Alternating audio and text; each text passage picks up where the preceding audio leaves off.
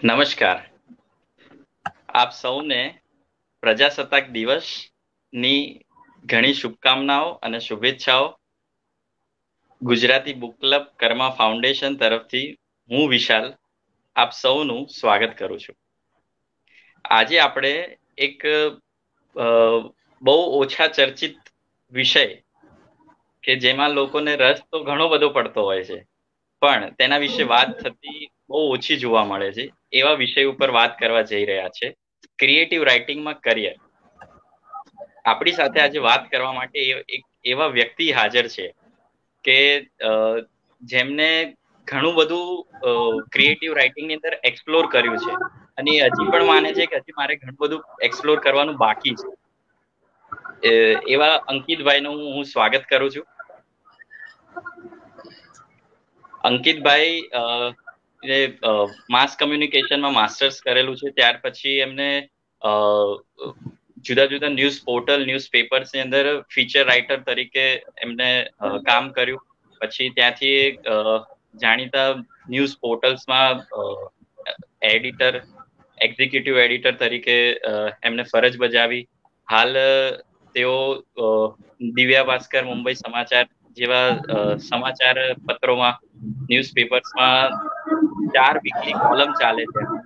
એમના પુસ્તકો પ્રગટ થઈ થઈ ચુક્યા છે. ટ્રેન ટેલ્સ છે ડિજિટલી યોર છે, આથમ તો અજવાસ છે. આ બધા પુસ્તકો એમના પ્રગટ થઈ ચુક્યા છે. અને હાલ એક બ્રાન્ડ કન્સલ્ટન્ટ તરીકે પણ કામ કરે છે. ડિજિટલ માર્કેટિંગમાં કામ કરે છે.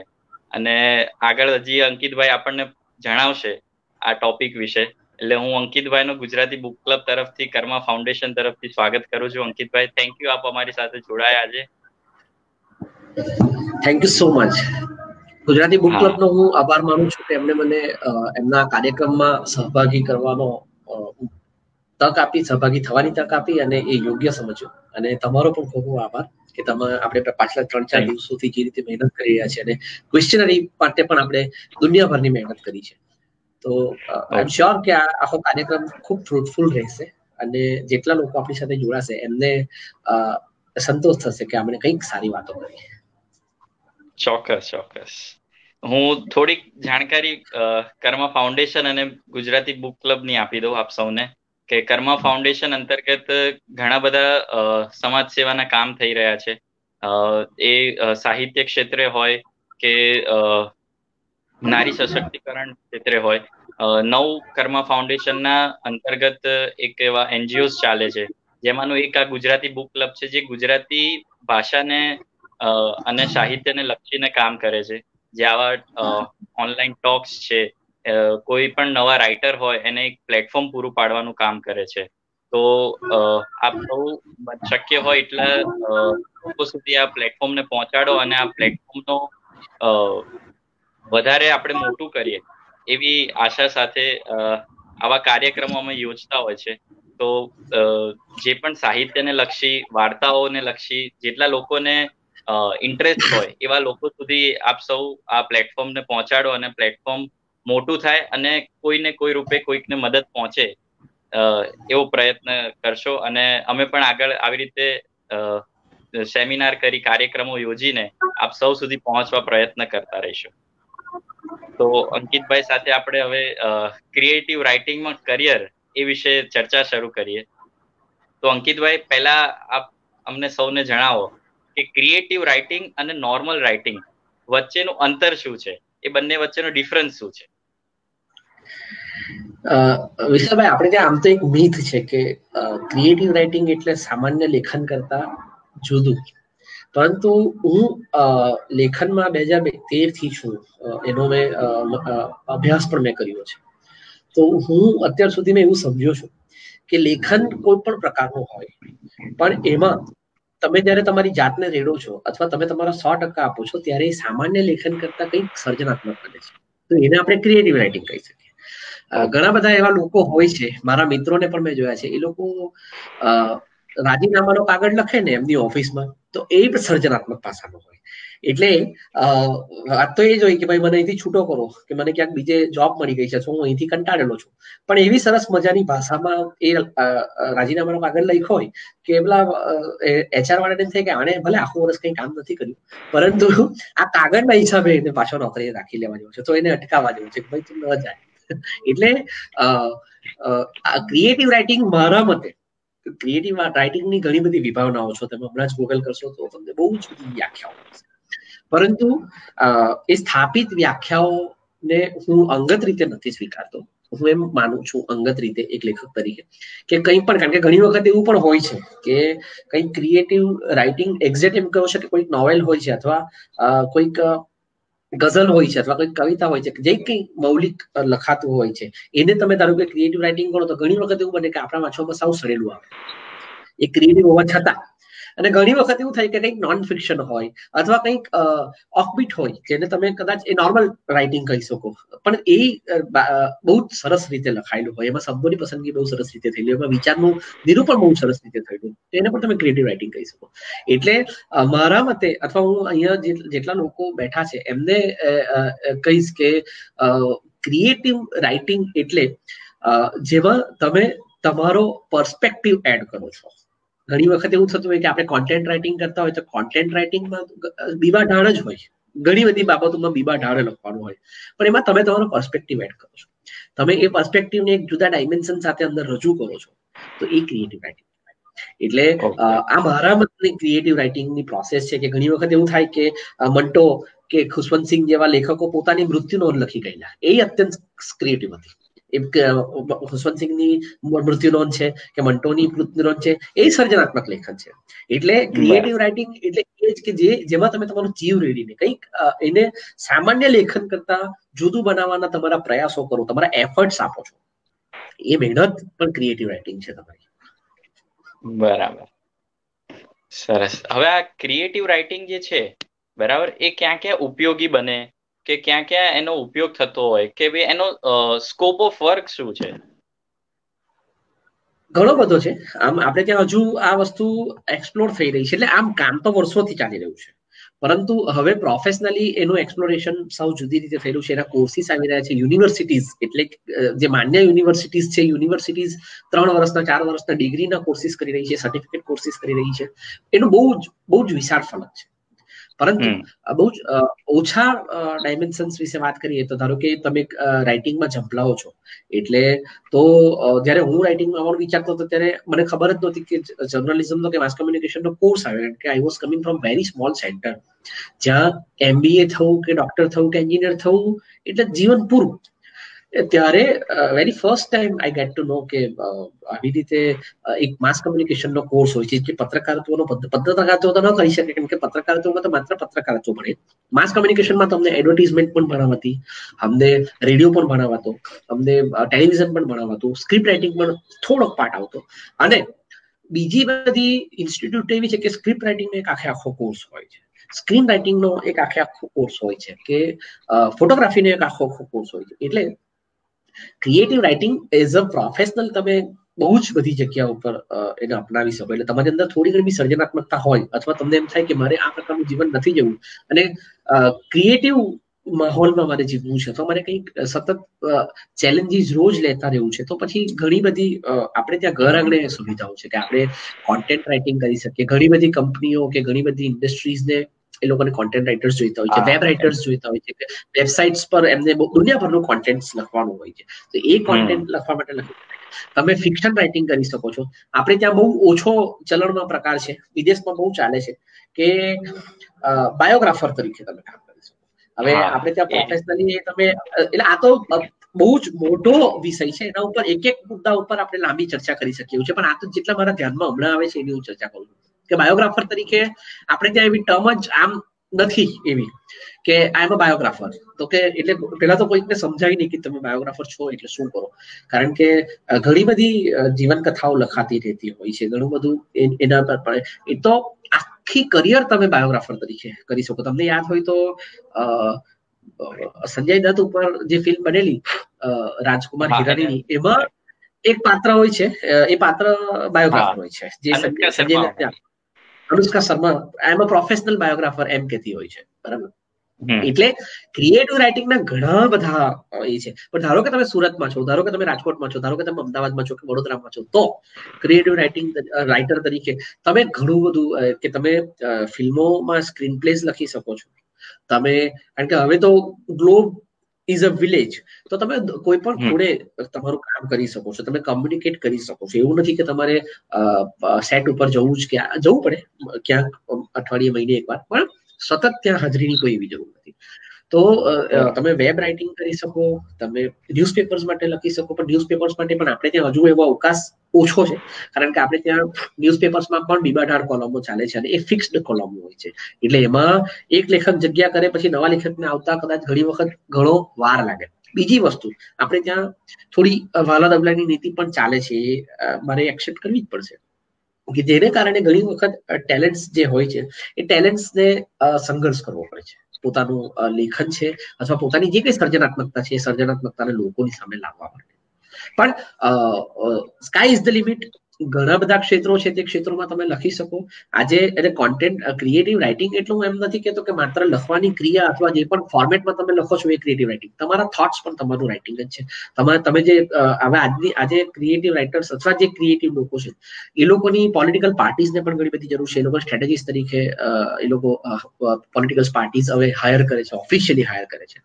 ઘણી બધી કંપનીઝ સ્ટ્રેટેજીસ્ટને હાયર કરે છે. આ બધા લોકો, એવા લોકો છે જે ક્યાંક માસ કમ્યુનિકેશન કરી આવ્યા છે, ક્યાંક એ લોકો ક્રિએટિવ છે, ક્યાંક એમને ખૂબ વાંચ્યું છે, અથવા એમનો અભ્યાસ છે.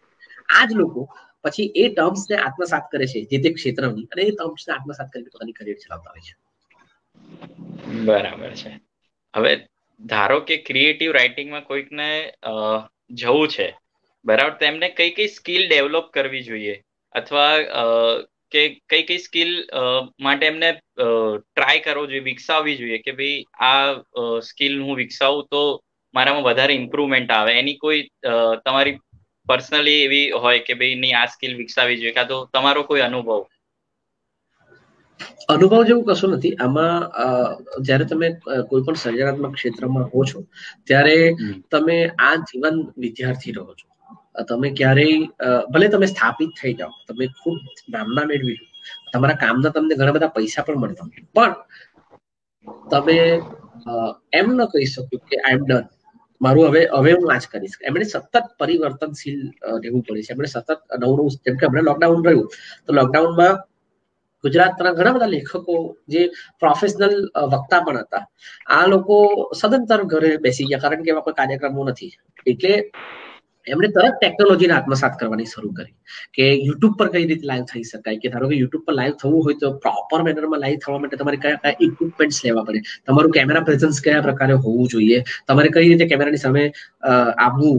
એના માટે ટેકનોલોજી કેટલી કેટલી સ્તરે શીખવી પડે? કારણ કે શરૂ શરૂમાં તો એવું થતું કે આપણે ત્યાં વેબિનાર્સનો રાફડો ફાટેલો વેબિનાર્સ ગોઠવી તો દે, પણ વોઇસ ક્યાં જતો રહ્યો કે આ ક્યાં જતું રહ્યું, આવી બેઝિક વસ્તુમાં પણ તકલીફ પડતી એટલે આપણે ધારો કે ક્રિએટિવ ક્ષેત્રમાં છીએ એવા કોઈ પણ ક્ષેત્રમાં છે જે ક્ષેત્રમાં તો ત્યાં શું થાય કે આપણે બે પ્રકારો છે. એક તો વિચારોની બાબતે પણ સતત અપગ્રેડ થતા રહેવું પડે. સતત તમારે નવી નવી વસ્તુઓ આવતી રહેતી હોય છે. કે ધારો કે એક જમાનામાં એક જ પ્રકારની કોપી ચાલતી હોય. તો કોપી રાઇટિંગની વાત કરું. ત્યાર પછી એ કોપી રાઇટિંગ નો જરા એની સ્ટાઇલ બદલાય. તો તમારે એમાં થોડું કંઈક ફ્યુઝન લેંગ્વેજ રાખવી પડે કે એવું કંઈક ટ્રેન્ડ ચાલે. તો તમારે એ રીતે પરિવર્તન છે. અને વિચારોની સાથોસાથ ટેકનોલોજી પણ સતત. કારણ કે આપણે એવા લોકો છીએ જે લોકોએ ટેકનોલોજીની સાથે રહીને કામ છે એટલે એક જમાનામાં સામાન્ય પત્રકાર અથવા કરનારા લોકો, પ્રિન્ટ મીડિયામાં કામ કરનારા લોકો પણ એક સમયે બીબું ગોઠવતા ત્યાર પછી એ લોકો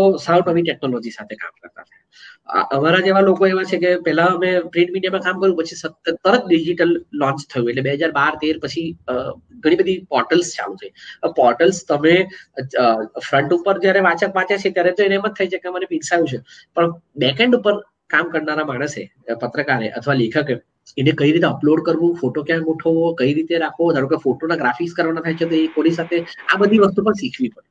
એટલે તમે માત્ર પત્રકાર ન રહી શકો, માત્ર લેખક ન રહી શકો, માત્ર કોપી રાઇટર ન રહી શકો, માત્ર સ્ક્રીન પ્લે રાઇટર ન રહી શકો. તમારે એ જે ટેકનોલોજી તમારે જે મીડિયમ સાથે કામ કરવાનું છે, એ મીડિયમના બેઝિક્સ અને જરૂર પડે, તો એની અમુક મહત્વની બાબતો, કારણ કે મેં હું જયારે ગુજરાત ગાર્ડિયનમાં હતો અખબારમાં હતો, ત્યારે મેં એવા તંત્રીઓને પણ જોયા છે કે ધારો કે પેજ મેકર્સ ન આવે અને કંઈક મુશ્કેલી ઊભી થાય તો જાતે પાનું બનાવવા બેસી હવે આ વસ્તુ બહુ મુશ્કેલ છે. એ બી સરળ નથી. તમારે ઇન ડિઝાઇનમાં અથવા એના જે કોઈ મીડિયમ છે પેજ મેકિંગના ન્યૂઝપેપરનું પેજ બનાવવાના, એમાં પચાસથી વધુ તો ફીચર્સ આવે.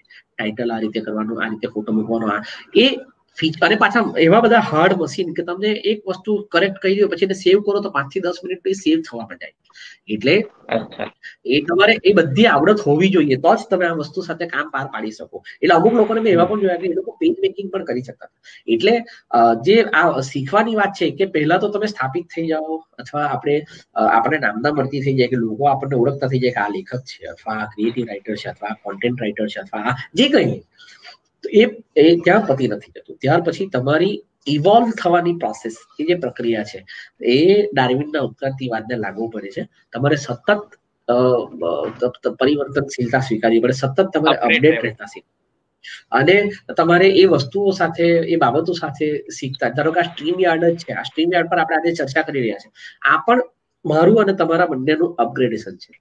કઈ રીતે? કે આપણે ગયા માર્ચ સુધી તો લગભગ મને તો કંપની ખબર નહોતી.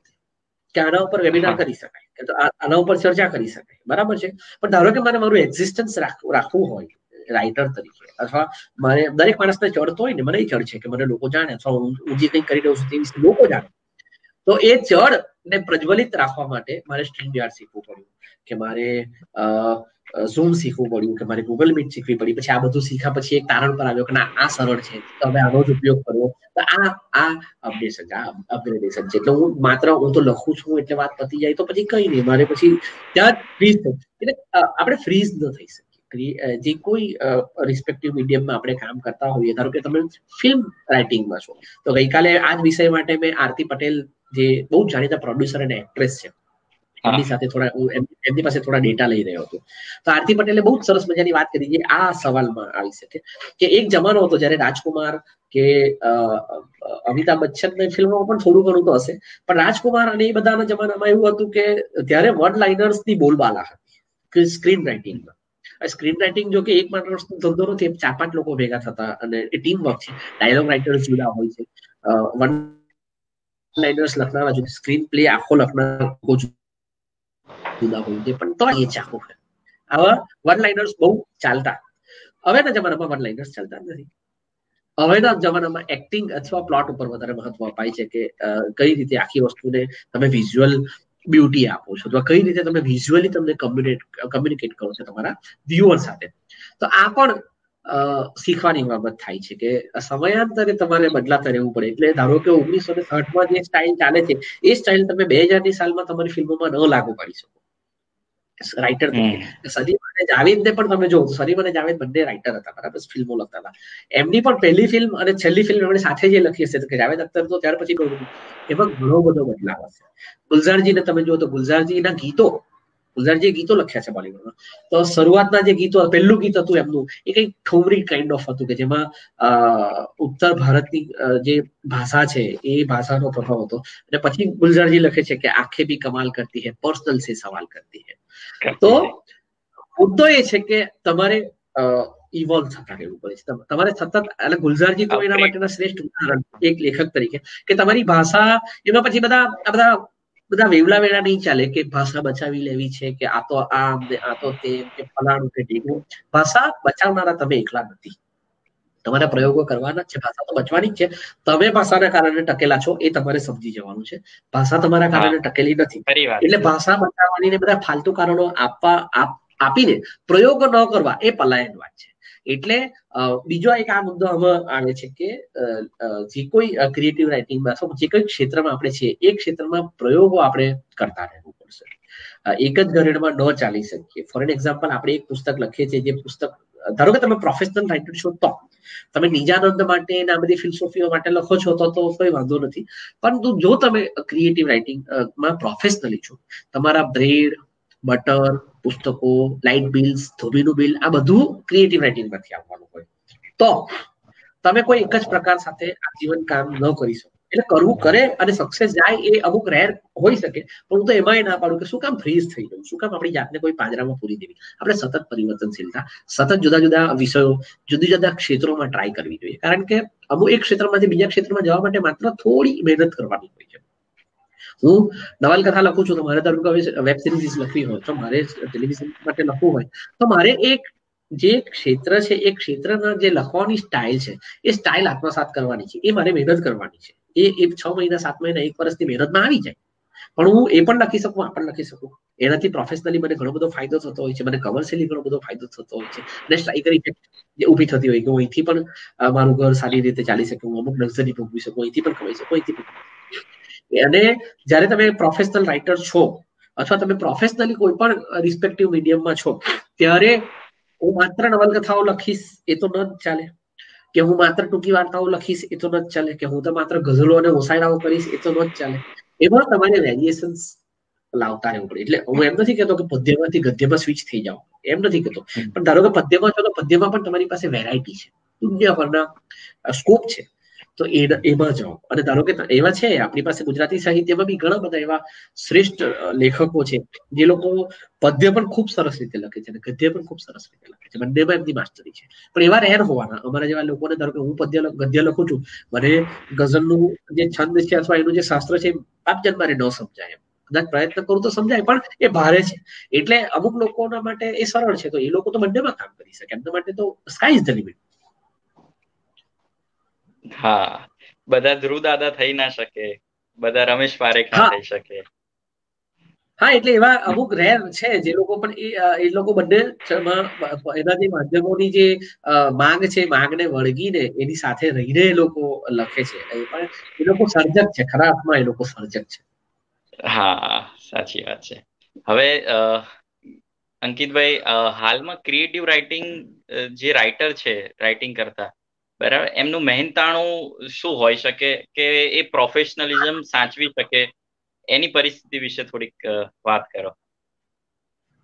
મહેનતાણામાં તો ભાઈ એવું છે કે ધારો કે તમે સડેલું લખો છો ને, તો તમને તમારા કોઈ એક્સ વાય ઝેડ પોર્ટલ ઉપર અથવા એક્સ વાય ઝેડ બધી સાઇટ્સ પર તમે સેલિબ્રિટી રાઇટર બનીને ફરી શકો, પણ એનાથી કઈ તમારું ઘર ન ચાલે. બરાબર? આપણે ત્યાં ગુજરાતીમાં જ રાફડો છે નામ નથી જતો પરંતુ એ પોર્ટલના સેલિબ્રિટી રાઇટર છે બ્લુ ટિક રાઇટર છે પાછા આપણને ઓળખાણ પણ એવી જ આપે. ઓકે બરોબર છે આઈ રિસ્પેક્ટ ઇટ પરંતુ એની કમર્શિયલ વેલ્યુ શું? અને એકચ્યુઅલમાં એની લોકોને પણ આ બધી વસ્તુ ખરેખર મજા કરાવે છે અથવા લોકોને ખરેખર એ વસ્તુ કામ આવે છે ખરી એમાં કઈ મૂલ્યો છે ખરા? એ અલગ મુદ્દો છે. પણ, મહેતાણાની વાત આવે ત્યારે હું અગેન એ જ કહીશ કે તમે જેટલી તમારી જાતને અપડેટ રાખશો તમે જેટલા શીખેલા હશો તમારી તમારી મહેનત કરવાની કેટલી આનંદ થશે કારણ કે એક ઉદાહરણ મને યાદ આવે છે કાંતિ ભટ્ટ ચિત્રલેખામાં લખતા. ત્યારે આ ભરત કેલાણી ચિત્રલેખાના પૂર્વ તંત્રી એ કીધેલો કિસ્સો છે કાંતિભાઈના મૃત્યુ પછી કે કાંતિભાઈને કોઈક એક્સવાઇઝેડ સબ્જેક્ટ ઉપર ભરત કેલાણીએ લેખ લખવા આપ્યો. કાંતિભાઈ ત્યારે પણ ધ કાંતિ ભટ્ટ કાંતિ ભટ્ટ પહેલેથી જ ધ કાંતિ ભટ્ટ એમ. એટલે ભરતભાઈ એમને ફોન કરીને કે કે આ સબ્જેક્ટ છે અને આના ઉપર આવું જોઈએ છે. એટલે કાંતિભાઈ કે બે કલાક હું તને મોકલું છું. એટલે કાંતિભાઈના ઘરમાં જ આખી રેફરન્સ લાઇબ્રેરી હોય. ધારો કે ક્રિકેટ ઉપર લખવા કીધું હોય તો ક્રિકેટ ઉપરના પચાસ પુસ્તકો હોય. ક્રિકેટમાં પાછું સચિન તેંડુલકર તો સચિન તેંડુલકરના વીસ પુસ્તકો હોય. એના વિશે લખાયેલા પચાસ આર્ટિકલ્સની ફાઇલ ભરેલી હોય. બધું જબરજસ્ત રીતે આપણે ફાઇલિંગ કરેલું. એમ આંખ અંધારામાં હાથ નાખો તો મળી જાય એવી રીતે બધું મળે. અને પછી બે કલાકની એ ડેડલાઇનમાં ભરતભાઈને કાંતિભાઈ એ આર્ટિકલ સબમિટ કરાવે છે. મને સબ્જેક્ટ નથી ખબર કયો છે. ભરતભાઈ આર્ટિકલ વાંચે છે પછી ભરતભાઈને એમ થાય છે કે આમાં સમથિંગ ઇઝ મિસિંગ એમ. મને જે જોઈએ છે આ નથી.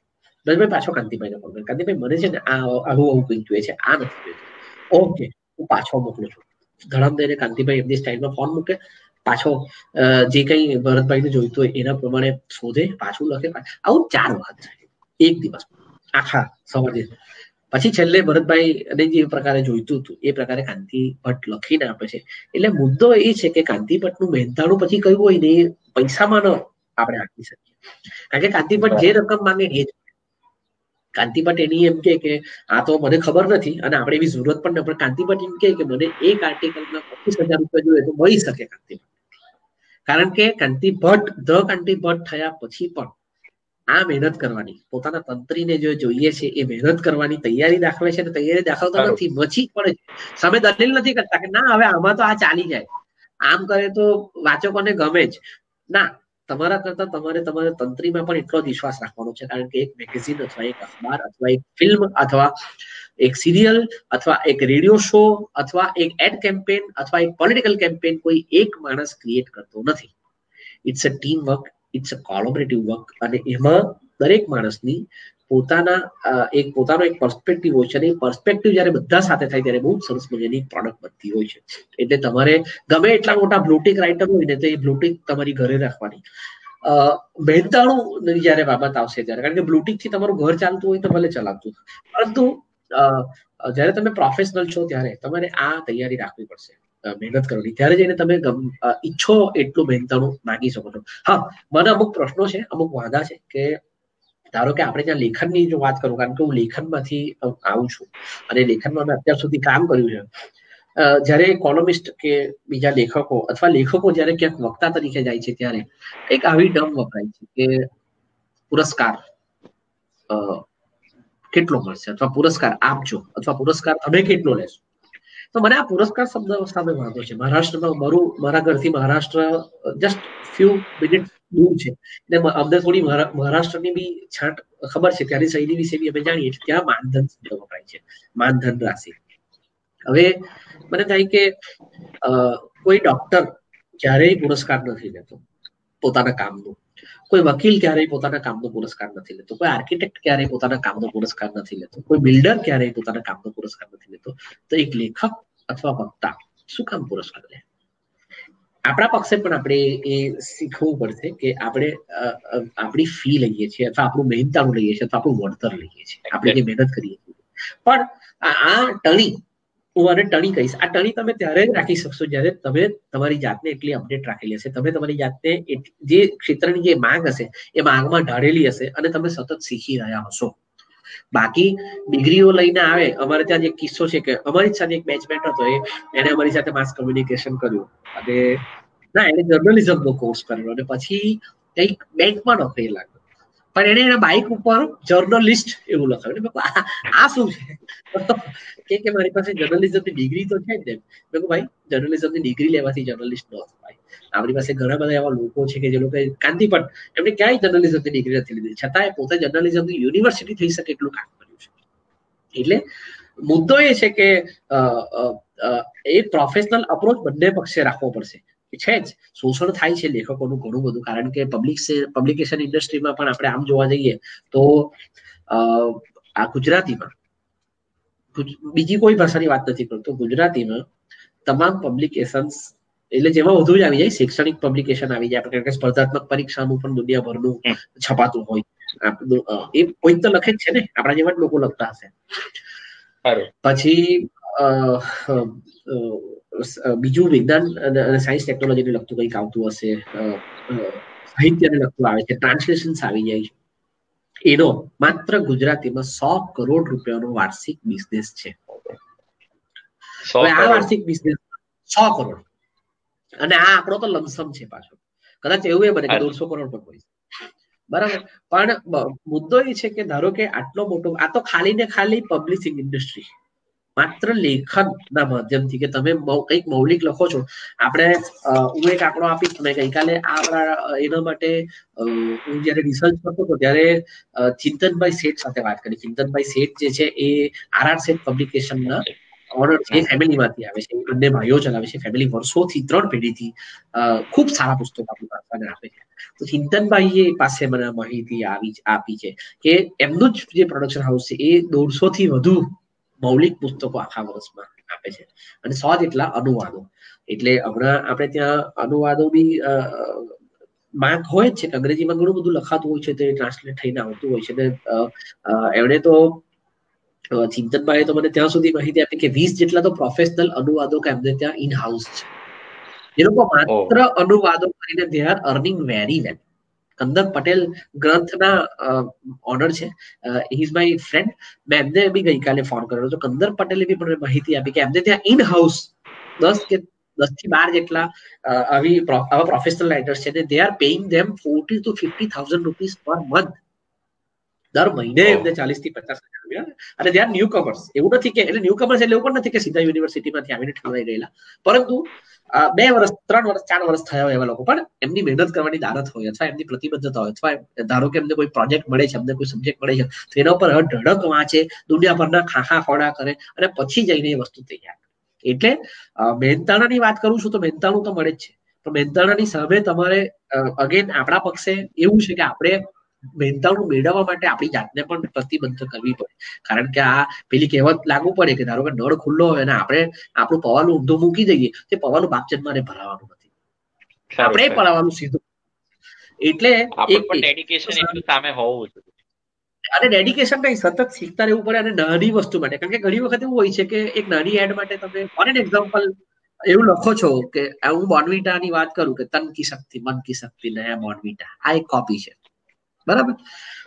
તો આ લખવા માટે તમારી પાસે ખૂબ અભ્યાસ, ખૂબ વાંચન અને માર્કેટની પકડ સાયકોલોજીથી તમે જાણતા હોવા એ બીંગ રાઇટર તમને સાયકોલોજીનું પણ ભાર હોવું જોઈએ કે તમે જ્યારે આપો છો, ત્યારે લોકો પર આની શું ઇમ્પેક્ટ થશે? અથવા લોકોને આ ગમશે? હમણાં હું એક પબ્લિકેશન હાઉસ માટે પલ્પ ફિક્શન લખી રહ્યો છું. આ પલ્પ ફિક્શન એવો પ્રકાર છે કે એને લુબ્ધી સાહિત્ય પણ કહી શકાય, જેમાં મારધાડ અને સેક્સ અને ક્રાઇમ ને આવું જ હોય. એમાં કોઈ મૂલ્યો નથી મળતા. તોય ઇંગ્લિશમાં તો ગોડફાધર લખાયેલી છે પલ્પ ફિક્શનની કેટેગરીમાં જ આવે છે. તો પણ ગોડફાધર સુપર સક્સેસ છે. એટલે આપણે ત્યાં અમુક નિજાનંદમાં લખનારાઓ પલ્પ ફિક્શન નામ કરીને જોઈએ કે પલ્પ ફિક્શન પરંતુ એ નિજાનંદ વાળાઓને પાછા બીજા કોઈ નથી વાંચતા. એ અલગ વાત છે. પણ પલ્પ ફિક્શન જયારે લખતો હતો ત્યારે પણ મેં મને પહેલા મને હતું કે ચલો ભાઈ તો બીજી નવલકથાઓ કરતા, આ નવલકથાનો પ્રકાર થોડો સરળ હશે. જ્યારે હું એકચ્યુઅલ એના પ્લોટ્સ બનાવવા બેઠો, જ્યારે એકચ્યુઅલ હું એના કેરેક્ટર બનાવવા બેઠો, જ્યારે હું એ કેરેક્ટરના ફીચર્સ બનાવવા બેઠો, ત્યારે મારી પરીક્ષા થઈ. પછી મને બાકાયદા સુરેન્દ્ર મોહન પાઠક કે આવા હિન્દીના પલ્પ ફિક્શન રાઇટર કારણ કે હિન્દીમાં ચલણ વધારે છે. એમની તમામ નવલકથાઓ વાંચી છે. એ તમામ નવલકથાઓ વાંચ્યા પછી મેં નવલકથાઓ એટલા માટે નહીં વાંચી કે ભાઈ, આમાંથી મને કંઈક મળી અથવા આમાંથી મને કોઈ કેરેક્ટરાઇઝેશન મળી પરંતુ એટલા માટે એનો ફ્લો કયા પ્રકારો છે, આ લોકો એ કઈ રીતે આ વસ્તુને ટ્રીટ કરે છે અને શૈલી કયા પ્રકાર અને આ વાર્તાને આગળ ધપાવવા માટે આ વાર્તામાં સેન્સેશન એડ કરવા માટે આ વાર્તાને રોમાંચિત રોમાંચક બનાવવા માટે તમારે કયા કયા એલિમેન્ટ્સ અંદર ઉમેરવા પડે. આ હું હમણાં શીખી રહ્યો છું. એ મુદ્દો એ છે you have to learn all the time તમારે સતત શીખતા રહેવું પડે છે. અને આત્મસાત કરતા રહેવું પડે છે. અને તમે ધારો કે તમારે વધારે કમાવું કારણ આ બધી જીવાજોડી હું માત્ર ને માત્ર એક જ બાબત માટે કરું છું. કારણ કે હું પ્રોફેશનલ રાઇટર છું. મારું બ્રેડ બટર પેટ્રોલ બધું જ એ પૈસાથી આવે છે. એટલે મારે એ પ્રયોગ કરવો જ પડે. મારે શીખવું જ પડે. હું કોઈ નિજામત માટે નથી લખતો. હું કોઈ સેવા માટે નથી કરતો. હા, જાતને એટલું વચન આપેલું છે કે જે કોઈ કામ કરે ક્યારેય બિલો ધ બેલ્ટ ન હોય શકે. એ કામ એવું ન હોઈ શકે કે જે કામથી આપણે આપણી ભાષાનો અથવા આપણા આપણી સંસ્કૃતિનો દ્રોહ કરીએ. પણ હું સેવા કરવા નથી આવ્યો હું કમા મારે બી કમાવાનું થાય છે. મારે પણ મારું ઘર ચલાવવાનું છે. મારે કોઈ હું પેલા નર્મદની જેમ કે બીજા લેખકોની જેમ કલમને માથું મૂકીને સુઈ જાઉં તો મારે પછી ઊંડી ગોળીઓ જ લઈને સુવું પડે. કારણ કે એ સમયમાં નર્મદ કરી શક્યો તો હમણાં એવું ન થાય. મારે કલમ એટલે અને કલમના ખોડે માથું મૂકીને જીવવું એ કેટલું કપરું છે એ પ્રોફેશનલ રાઇટર્સને તમે પૂછો ત્યારે જ તમને ખબર પડે. પણ હું અગેન લેખકોને આ જ વસ્તુ અથવા જે કોઈ ક્રિએટિવ રાઇટિંગમાં આવવા માંગે છે એ લોકોને આ જ કહું છું કે આ બેટલ એવી છે કે ઇન્ટરેસ્ટિંગ પણ છે અને આ રોમાંચક પણ છે. એટલે એક જ વસ્તુ કે તમારે બીબા ઢાળ પ્રવૃત્તિઓમાં ન ગુંચવાઈ જવું. અથવા ક્યારેય પૈસાને તાબે ન થવું. ઘણી વખત એવું બને કે સામે પક્ષે અગેન એક મુદ્દો બીજ થયો કે પબ્લિશિંગ ઇન્ડસ્ટ્રી આટલી મોટી છે, તો એમાં મારો વિરોધ છે અથવા મારો, મારી ફરિયાદ છે કે એમાં લેખકોની વળતર પાછું સાવ પીનટ હોય છે. કે અમુક એમાં લેખકો પણ એના માટે જવાબદાર છે કે એ લોકોને એવું જોઈએ છે કે ભાઈ માર્કેટમાં મારી ભૂખ તો આવી જાય. પણ why are you thinking like that તમે શું કામ આવું વિચારી રહ્યા છો? તમે, તમારો કોઈ પણ ભોગે આપો. પણ આપો તમારું કોન્ટેન્ટ બેસ્ટ હોય. તમે જે કંઈ આપશો એ બેસ્ટ હોય. પ્રકાશક તો આવે કારણ કે પ્રકાશકને તો રસ છે વેચાણમાં. એને કોઈ રસ નથી તમારા નામ સાથે. તમે કેટલા સ્થાપિત છો કે તમે કેટલા મહાન છો એમાં કોઈ રસ નથી. એને એક જ બાબતમાં રસ છે કે તમે જે કોન્ટેન્ટ આપો છો એ કોન્ટેન્ટ લોકો સ્વીકારશે લોકો ખરીદશે. તો એ અપ્રોચ તમારે એવી રાખવાનો. બાકી એટલે જ્યારે નહીં તો પછી તમારું શોષણ જ થશે. તમે આ પ્રકારે જો આવી વિચારધારા ધરાવશો તમે માર્કેટ પુસ્તકો આવી જાય પછી આમ થાય પછી તેમ થાય. અતિ. અને પણ જયારે મારું પહેલું પુસ્તક આવ્યું ત્યારે બહુ થ્રીલ હતી. મારું ચોથું પુસ્તક આવ્યું ત્યારે ખાલી એક આનંદ કે ચલો ભાઈ પુસ્તક આવ્યું કારણ કે ઇટ્સ અ રૂટીન હવે આ રૂટીન છે. એનો એની મજા છે. કારણ કે પણ એ મજા હવે હું પૈસા ના ભોગે અથવા એ મજા હું ઈમાન ના ભોગે નહીં. કરે શોષણ ન સ્વીકારી શકાય. એટલે આપણે ત્યાં તો શું છે કે, અમુક બાકીની સી બીજી ત્રીજી આવકો આવતી હોય એટલે પ્રકાશકોની સામે કે બીજા કોઈની પણ સામે લટોડા પટોડા વેળા કરે અમુક લોકો. અમુક પ્રકાશકો છે પણ એવા. ગુજરાતના બે ત્રણ પ્રકાશકોને વાત કરતા બાકીના એવા છે પણ ખરા, કે તે શોષણ કરે. એ રોયલ્ટીમાં ગફલા કરે છે અથવા ટ્રાન્સપરન્સી નથી રાખતા. કોપી એડિશન જે કાઢે છે એમાં વધઘટ કરી નાખે છે. પરંતુ એ જવાબદારી પ્રકાશકની છે, એના કરતા વધારે લેખકની છે. તમે બાબતે સજાગ થાઓ. તમે જે કામ કરી રહ્યા છો એની વેલ્યુ છે તમે એની પછાડી સમય આપી રહ્યા છો તમે તમારી એફર્ટ્સ આપી રહ્યા છો તમે તમારી શૈલી આપી રહ્યા છો તમે તમારી બૌદ્ધિકતા આપી રહ્યા છો. એટલે કાલે આરતીબેન બહુ સરસ મજાની વાત કરતા હતા કે એમ કે કોઈ જગ્યા ઉપર મને વક્તવ્ય આપવા બોલાવે તો ઘણી વખત પુરસ્કાર નો હર એટલે હરફ સુધારો ઉચ્ચારે. પૈસા તો આરતીબેન પછી કે ભાઈ જો હું લઉં કે ન લઉં એ મારો નિર્ણય નહીં. પણ તમારે તમારે ઓફર કરવાના થાય જ છે. એટલા માટે કે ધારો કે અહીંયા આવો છો ત્યારે તમે બધા નાસ્તા કરાવો છો ત્યારે નાસ્તાના પૈસા હોય છે. હોલ ભાડે કરાવો છો તો એના પૈસા હોય છે. જ્યાંથી તમે માઇકની સિસ્ટમ લાવ્યા છો કે એના બધાના પૈસા હોય છે. ટિકિટ્સ પણ તમે કદાચ ઘણી જગ્યા પર રાખી હોય છે. તો પછી વક્તાને શું કામ મફતમાં બોલાવડાવવાનું? જો કોઈકનું પેટ્રોલ ભરતું હોય જો કોઈકની મશીન ભરતું હોય તો મારી બૌદ્ધિકતા મળે છે. મારો અવાજ મળે છે. મારી શક્તિઓ બળે છે. અને એના પૈસા હું એમ નથી કેતો કે તમે વેપલો કરો. તમે આડે ધડ પૈસા માંગો કે વેપલા, વેપાર કરવાની વાત નથી, પરંતુ તમે જે કંઈ કરો છો એનું યોગ્ય. અને ધારો કે તમે એમાં તમારા એફર્ટ્સ આપો છો, તમારી જાતને એટલી તૈયાર કરો છો, તમે એટલી સારી રીતે એ પ્રોડક્ટ આપો છો, તો પૈસા બહુ જ સારી રીતે માંગવાના થાય છે.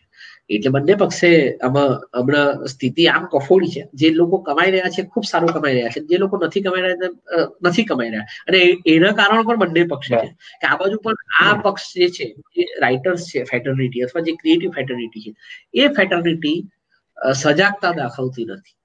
એ પ્રતિબદ્ધતા દાખવતી નથી. એ નવું શીખી નથી રહી. એ નવું વાંચી નથી રહી. એમના માટે પૂર્તિઓ અને પૂર્તિઓ પછી થોડા ઘણા સેલિબ્રેટેડ પુસ્તકો હોય એટલે વાંચી લીધું પણ એવું નથી. કેટલું બધું અંગ્રેજીમાં લખાય છે કેટલું બધું હિન્દીમાં લખાય છે. અન્ય ભાષાઓમાં અન્ય ભારતીય ભાષાઓમાં પણ લખાય છે તો એ ટ્રાન્સલેટ થઈને આપણી પાસે અંગ્રેજીના માધ્યમથી કે ગુજરાતીના માધ્યમથી આવે છે તો એ આપણે વાંચવાનું થાય છે. આપણે એ પક્ષ આપણી જાતે તૈયાર નથી. આપણે કોઈ એવા કોઈ એવી ટેકનોલોજી આપણે આત્મસાત નથી કરી શકતા. એટલે ઘણી વખત એવું થતું કે અમુક લોકોને મેં શરૂ શરૂમાં પણ જોયેલા એપ્રિલ મે ના ગાળામાં ત્યારે વેબિનાર એવું હોય ને તો એ ઘે ઘે ફે ફે કરે. શું કામ? આ કઈ એવું મોટું રોકેટ સાયન્સ નથી. હવે આજે આપણા માટે વેબિનાર સરળ બાબત થઈ ગઈ છે. એમના માટે પણ સરળ થઈ ગઈ છે. પણ એટલે મારો મુદ્દો એ છે કે આમાં શું ગભરાવાનું? આમાં એવું છે કે તમે કંઈક લેપટોપ ચાલુ કરશો કે મોબાઈલની સામે બેસશો તો અંદરથી કોઈ આવીને તમને હાઉકલી કરશે. એવું તો કઈ થવું નથી. શીખો. જે કઈ એફર્ટ આપવા પડે એફર્ટ શીખો. એમાં બધી ફિલોસોફી નહીં ચાલે કે આપણે તો આવા માધ્યમો સાથે આમ થઈ જ ન શકે. આપણાથી તો આમ કરાય જ નહીં. આવું કરીને તમે તમારી જાતને તમારી સર્જનાત્મકતાને તમારી ક્ષિતિજોને ફ્રીઝ કરી રહ્યા છો. એ નહીં બરાબર. હવે કમેન્ટમાં બે સવાલ પૂછી રહ્યા છે મોના શાહ કે લખ્યા પછી એને વાચક સુધી પહોંચાડવા પ્રિન્ટ મીડિયા યોગ્ય છે કે નહીં તેનું માર્ગદર્શન ક્યાંથી મેળવવું? કોને પૂછ્યો છે આ સવાલ? મોના શાહ. મોના શાહ. બરાબર આમાં માર્ગદર્શન મેળવનાર આપનારાઓ સારા હોય ત્યાં સુધી તો કોઈ વાંધો નથી. અને માર્ગદર્શન મેળવવાની તમારી દાનત શુદ્ધ હોય ત્યાં સુધી વાંધો નથી. પણ પહેલા આપણે આપણી જાતને પૂછવાનું એ થાય છે કે આપણે કોઈકની પાસે માર્ગદર્શન લેવા એ આપણો ડર છે આપણો પલાયનવાદ છે. કારણ કે ઘણી વખત આપણે અંદર ડર પણ આપણને આપણા ક્રિએશન ને આપણે ઓછા આપતા હોઈએ છીએ. અથવા ઘણી વખત આપણે પલાયન સાધવું હોય છે કે બીજાને પૂછી લો.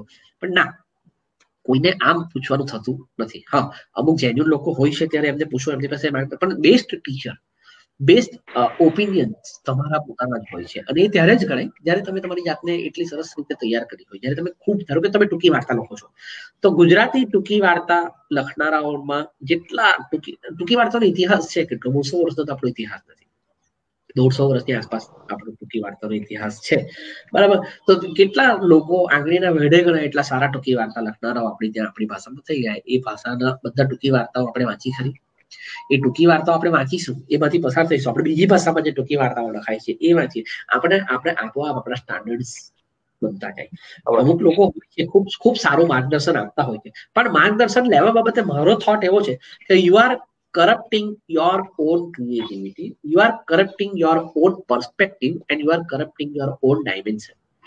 તમે તમારી સર્જનાત્મકતાને કરપ્ટ કરી રહ્યા છો.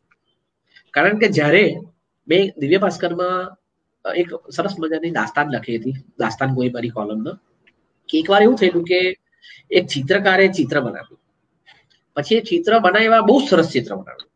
ચિત્ર બનાવ્યા પછી એને શું સૂઈજું કે કે, ચલો, આ ચિત્ર કે ગામના ચોતરે મૂકું અને સાથે બે ત્રણ માર્કર મૂકું કે તને ત્યાં એવી સૂચના મારી બાજુમાં ચિત્રની બાજુમાં કે આ ચિત્રમાં તમને જ્યાં ભૂલ દેખાય ને એમ કે ત્યાં તમે કુંડાળા કરી જાઓ. પેલો ભાઈ કઈ કામ હશે એટલે ચિત્ર નીકળી ગયો. સાંજે આવ્યો તો સાલું મૂળ ચિત્ર નહીં દેખાય એટલા કુંડાળા. કેનવાસ ઉપર. એટલે એ ડિપ્રેસ થઈ ગયો કે ચિત્ર મારું આટલું બધું ખરાબ હતું એમ કે લોકો આટલી બધી ભૂલો કાઢી. પછી એ નિરાશ થઈ ગયો અને ઘરે ગયો, ત્યારે એને એક મિત્ર મળ્યો. એટલે મિત્રએ પૂછ્યું કે આટલું બધું ઉદાસ લાગે છે તું. તો ચિત્રકાર કે યાર, આવું થયું.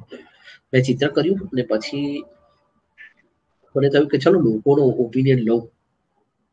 લોકોને આમાં શું ખૂટે છે એ પણ જાણવું અને પછી એના માધ્યમથી મારા ચિત્રને શ્રેષ્ઠ બનાવવું એ જે ભૂલો છે એને મઠાડીને તો મેં ચિત્ર મૂક્યું હતું કે, જો ને, આ કેનવાસ છે. મારું મૂળ ચિત્ર પણ નથી દેખાતું.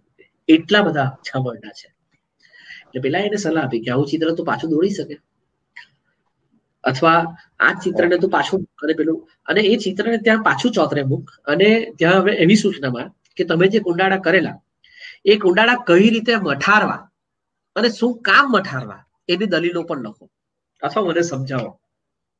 એ પેલો મૂકી ગયો. સમ ખાવા પૂરતો માણસ ત્યાં આવ્યો નહીં. કે આ કુંડાળું કર્યું છે ચિત્ર ઉપર, એ શું કામ કર્યું? અથવા એની શું જરૂરિયાત છે? અને ધારો કે કર્યું, તો એને કઈ રીતે તમે હવે પઠાવો?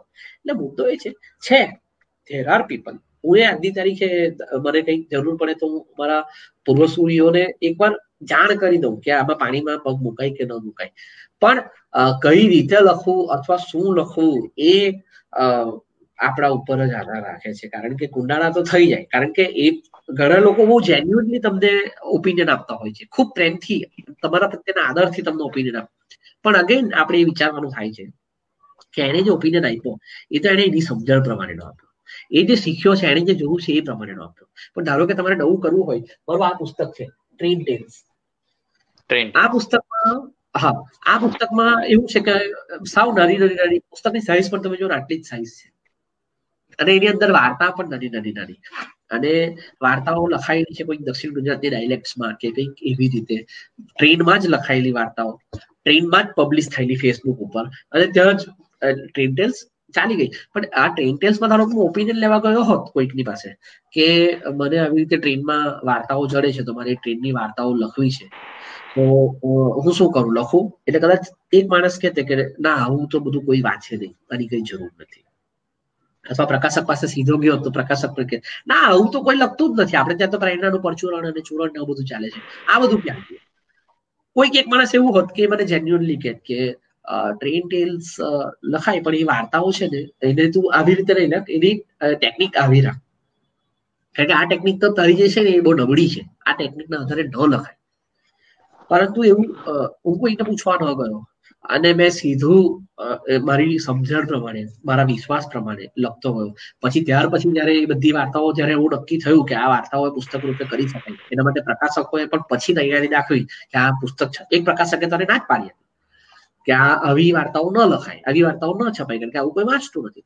આજે મજાની વાત એ છે કે મને સંતોષ છે કે મારા તમામ ક્રિએશનમાં અત્યાર સુધીમાં ટ્રેડ ટેલ્સ એવું ક્રિએશન છે કે જેને મને સંતોષ અપાવ્યો. અને ટ્રેન ટેલ્સે ક્યાંક મને નામના પણ અપાવી છે લેખક તરીકે મને કારણ કે રાઇટર આપણે લખતા હોઈએ છીએ પ્રોફેશનલી લખતા હોઈએ છીએ ત્યારે ઘણી વખત આપણે બજારની માંગ પ્રમાણે અમુક બાંધછોડ કરવી પડે. આમાં હું હંડ્રેડ પર્સન્ટ ઓથોરિટી મારી એકલાની હતી અને આમાં મને ક્રિએટિવ સેટિસ્ફેક્શન મળ્યું. અને બહુ જ પરમ સંતોષ થયો એક ક્રિએટર તરીકે એક લેખક તરીકે કે મારે જે સરતે લખવું હતું મારે જે રીતે લખવું હતું કારણ કે વાર્તાઓની જે વર્ણનની શૈલી છે એમાં પણ મેં ક્યાંક પ્રયોગો કરેલા છે. એ પ્રયોગો હું એમાં કરી શક્યો. એટલે મુદ્દો મોનાબેન એ છે કે આપણે ધારો કે નવા હોઈએ અથવા જુનિયર હોઈએ ત્યારે આત્મવિશ્વાસના પ્રશ્નો થાય. પરંતુ એનો એક જ ઉકેલ તમારે બતાવવો હોય તો બતાવી જ શકો ને. અગેન હું કહીશ કે અમુક લોકો બહુ જેન્યુઅનલી તમને એ થોટ આપશે. પણ એ, આવું કરીને તમે તમારી સર્જનાત્મકતાને એક ગળે ગાડીઓ બાંધી દો છો. તમે તમારા આત્મવિશ્વાસના ગળે ગાડીઓ બાંધી દો છો. કારણ કે સારું છે કે ખોટું છે એ પહેલા જ ક્રિએશનથી કાંઈ નક્કી નથી થતું. રાઇટિંગ અથવા કોઈ પણ ક્રિએટિવ વસ્તુ છે એ પ્રોસેસ છે. લાઈફ લોંગ પ્રોસેસ છે. કે મારું પહેલું પુસ્તક હતું એ હું આજે વાંચું તો મને તો કેટલું નબળું. ચોથું પુસ્તક પણ હમણાં વાંચું તો મને કે આ ભૂલ રહી ગઈ. આ વસ્તુ લતા મંગેશકરે કીધેલી છે. લતા મંગેશકરને એક ઇન્ટરવ્યુમાં કોઈકે પૂછેલું કે તમારા ગીતો તમે સાંભળો કરો ટેલિવિઝન પર? તો કે ના હું રેડિયો પર પણ નહીં ક્યાંય નથી સાંભળતી તો કે કેમ તો કે એટલા માટે કે પછી હું ગીત સાંભળું ને ત્યારે મને થાય કે યહાં મેં ये कर सकती थी यहाँ ये हो पाता था यहाँ अगर मैं सांस छोड़ देती तो इसकी ब्यूटी જ્યાદા बढ़ जाती મુદ્દો એ છે કે લતા મંગેશકરને જ પોતાના ક્રિએશનમાં ભૂલ જડે છે આ પ્રોસેસ છે લતા મંગેશકર એસી વર્ષની ઉંમરે પણ ઇન્ટરવ્યુમાં આ વસ્તુ કહી રહી હતી જ્યારે પણ એમને લાખો ગીત ગાઈ નાખ્યું એટલે ક્રિએટિવ પ્રોસેસ એવી પ્રોસેસ છે કે જે પ્રોસેસમાં તમારી સજાગતા જ તમને શ્રેષ્ઠતા તરફ લઈ એમાં બીજાના ઓપિનિયન્સમાં એવું છે બીજો જે જાણે છે તે જ તમને કહેવાનું. પણ તમારા ક્રિએ તમારા પેલામાં તમે જે માનો છો તમારા તમને જેમાં શ્રદ્ધા છે તમારી બિલીફ એને તમે આકાર આપો છો. એટલે આપણે જ આપણી ભૂલો કાઢવાની. અને પહેલું ક્રિએશન બીજું ક્રિએશન પાંચમું ક્રિએશન તો સો ટકા ભૂલ ભરેલું જોવાનું આપણું બાળક પણ ચાલતા શીખે ત્યારે પહેલા પહેલા તો પડે જ. પછી એ ચાલે. એટલે આપણે જ એ, આ પ્રોસેસમાં આપણી જાતને તૈયાર કરવાની પેલા કુંભારના પેલા જે માટલામાં કેવી રીતે આમ આમ આમ કરીને માટી કરતો જાય કરતો જાય કરતો જાય પછી છેલ્લે એવું સરસ મજાનો તૈયાર થઈ જાય.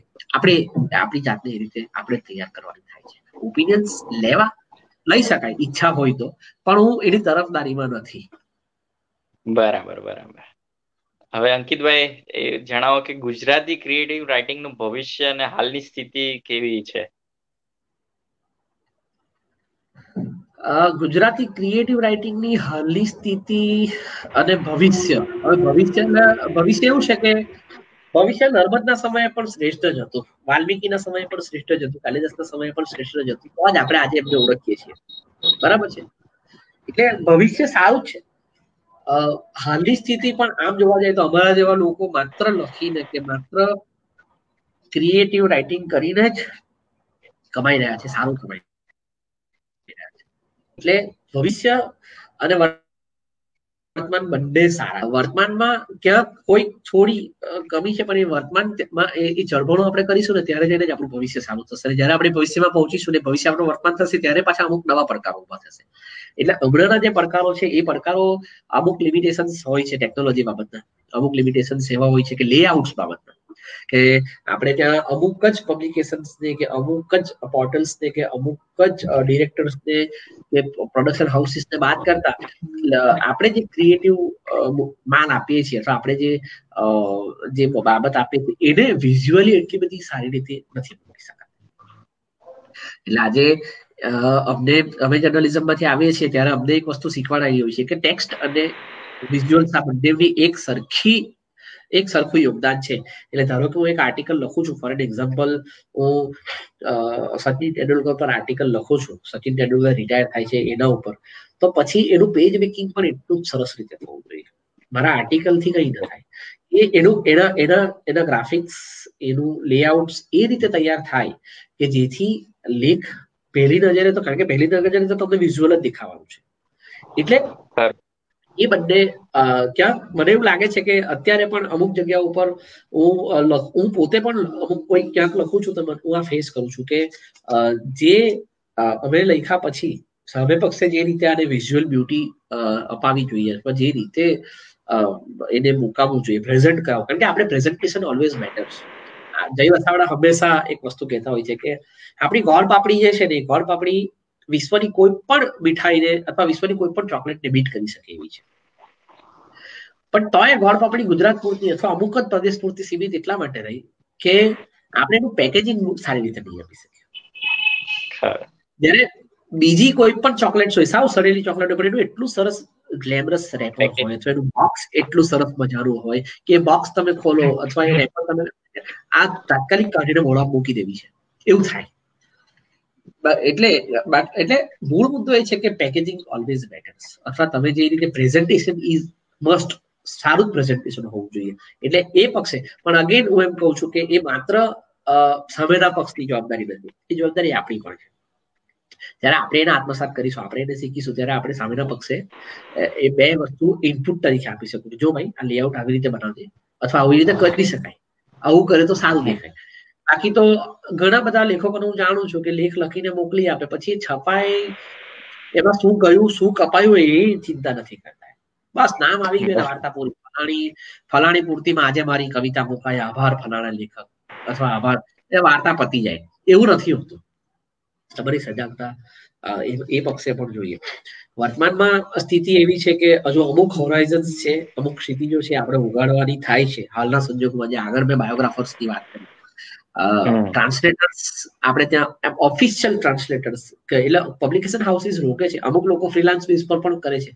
પણ અને એક ઇન્ડસ્ટ્રી તરીકે આપણે સ્વીકારવું પડશે.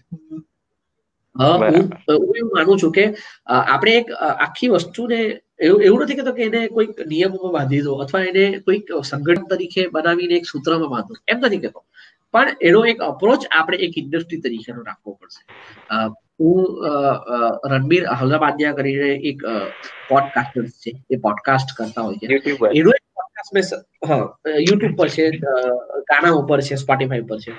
એમાં એમણે એક ઇન્ટરવ્યુ કરીને ચલાવે છે. બિયર બાઇચેપ્સ બિયર બાઇચેપ્સ તો એ બિયર બાઇચેપ્સ ના એક ઇન્ટરવ્યુમાં મેં એક ટર્મ વાત સાંભળેલી. અને મને બહુ જ ગમી ગયેલી કે see we are basically content entrepreneurs we are not writers એટલે આમાં અપ્રોચ આખો બદલાઈ જાય છે. કારણ કે અપ્રોચની સાથે સાથે ડાયમેન્શન્સ પણ તમારા વધે છે. તમારી ક્ષિતિજો પણ વિસ્તરે છે.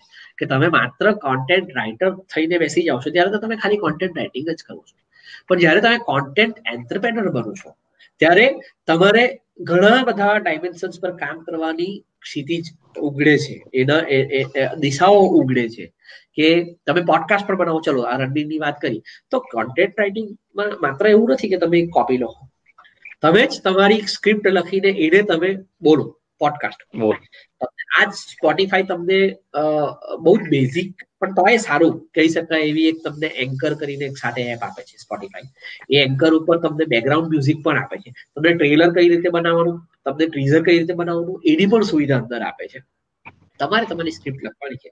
અથવા તમારે એક કન્સેપ્ટ ડિઝાઇન કરવાનો છે. એ કન્સેપ્ટ પર તમારે જ એને રેપ કોડ કરવાનો છે. અને એને સ્પોટીફાઈ પર કે ગાના ઉપર કે કોઈ બી જગ્યા ઉપર વિથ મ્યુઝિક પ્રોપર મેનરમાં એના ટ્રેલર ટીઝર આગળનું પાછળનું જે કંઈ આવતું હશે બધી ટર્મ એ ટર્મ સાથે તમારે મૂકવાની છે. હવે આ વર્તમાનનો આ પ્રશ્ન છે કે તમે માત્ર રાઇટર બનીને ન લિમિટમાં બંધાઈ શકો. તમે તમારી જાતને તમારા કોન્ટેન્ટને તમારા વિચારને પોડકાસ્ટના માધ્યમથી પણ લોકો સુધી પહોંચાડી શકો એટલે સ્પોટીફાઈ આપણી પાસે છે કે આપણી પાસે ગાના છે કે એ બધી એપ પર આપણે આપણી વસ્તુ મૂકી શકીએ છીએ. આપણો કોન્ટેન્ટ મૂકી શકીએ છીએ અને એને આપણે સ્પ્રેડ કરી છે એનો શરૂઆતમાં કમર્શિયલ ફાયદો ન થાય પણ એક વખત એ વસ્તુ પર તમને કદાચ ગ્રીપ આવે. તમને એ વસ્તુમાં પોતે ને મજા આવે તમે એમાં સેટ થઈ જાઓ અને તમે જુદા જુદા કન્સેપ્ટ પર કામ કરતા થાઓ. તો જરા જુઓ તો ખરા સ્પોટીફાઈ ઉપર ને એના પર રેન્જ ઓફ પોડકાસ્ટ એટલી બધી વેરાયટી એટલી બધી મજાની વાતો. અને ઘણા બધા એવા પોડકાસ્ટર્સ એવા છે કે જે પોતે ઘરે એ વસ્તુને બોલે છે. એમાં શીખવાનું શું થાય છે? કે હું બોલું છું તો અત્યાર સુધી હું લેખક હતો, એટલે આમ લમણે હાથ મૂકીને હું લેખક તરીકે ભણતો હતો હવે મારે પોડકાસ્ટ તૈયાર કરવા માટે મારે મારા અવાજને પણ થોડું કેળવવો પડે. તો આ માંગ છે. આ અપ્રોચ છે. તો અવાજ તો ચાલે જ છે ભગવાને. આપેલો તો છે એવું તો નથી કે હું તોતડો છું. અમુક કિસ્સામાં હોય ઈશ્વરની કોઈ લિમિટેશન અને એ અમુક લિમિટેશન્સમાં અમુક લોકો નથી કરી શકતા. એમની રિસ્પેક્ટ એમના આદર. પણ હું તો બોલી જ શકું છું. મારું ઉચ્ચારણ પણ સારું છે. તો મારે શું કરવાનું? તો કે એ મોડ્યુલેશન જે શીખવા પડે એ મોડ્યુલેશન શીખી શકાય. એ પણ ઘર બેઠા જ છે. આપણે તો કઈ ટ્યુટર રાખવાની જરૂર નથી. મોડ્યુલેશન આરોહ અવરોહ કઈ રીતે રાખવા? કે કઈ રીતે ઉચ્ચારણ કરવા? કે કઈ રીતે વસ્તુને થ્રો કરવી? એ જ શીખવાનું થાય છે. પણ હું એક પોડકાસ્ટ બનાવતા શીખી જાઉં છું. તો ઘર બેઠા હું મારું કોન્ટેન્ટ અનેક લોકો સુધી પહોંચાડી શકું છું. મહેનત છે. એવું નથી કે આ એન્કર એપ ડાઉનલોડ કરી દીધી ને એમાંથી બે ચાર વસ્તુ કરી દીધી ને અબડમ બારી ખુલ્લી હતી ને પવન વાતો હતો ને વાન ઉડતા હતા ને જર્જર જર્જર આવું ફાલતું. એવું નહીં.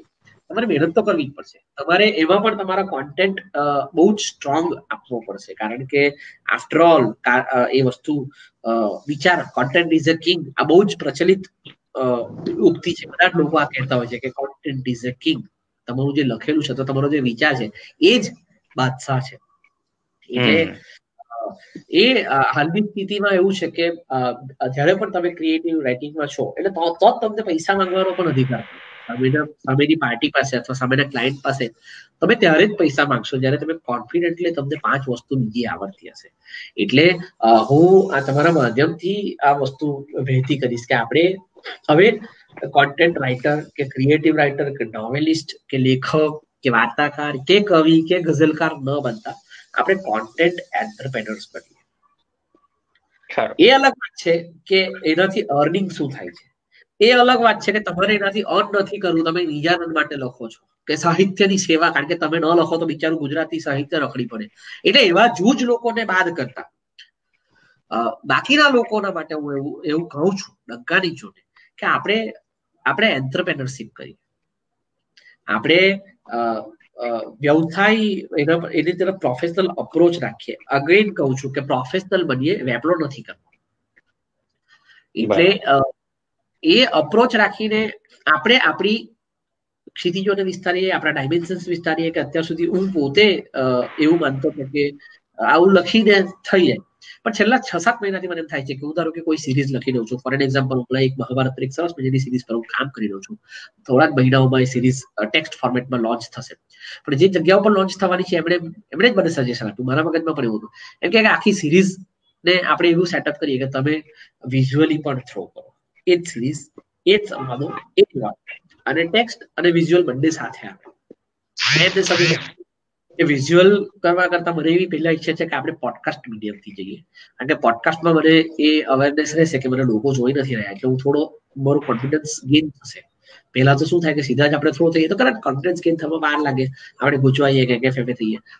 તો આ મીડિયમથી કરીએ. તો હું એક એ શીખી રહ્યો છું કે પોડકાસ્ટ ધારો કે આપણે કરવાનો થાય છે તો આપણે કઈ રીતે એક આખી જ લખેલી સ્ક્રિપ્ટ હું ચોક્કસ આરોહ અવરોહ સાથે જે રીતે નાટકમાં બોલાય છે કે જે રીતે રેડિયોમાં થાય છે કે રેડિયો નાટક ટાઈપ અને થોડોક ઘણી બધી એડવર્ટાઇઝમેન્ટ હોય છે હા એમાં એ એ શીખવું પડે તો આ બે ચાર એલિમેન્ટ હું નાખીશ તો મને એવું લાગે છે કે હું બીજી બે ચાર જગ્યા પરથી પણ સારું એવું બેનતાળું મેળવી શકીશ વળતર મેળવી શકીશ જે મારી લક્ઝરીમાં મને મને જીવનમાં મને કામ આવશે.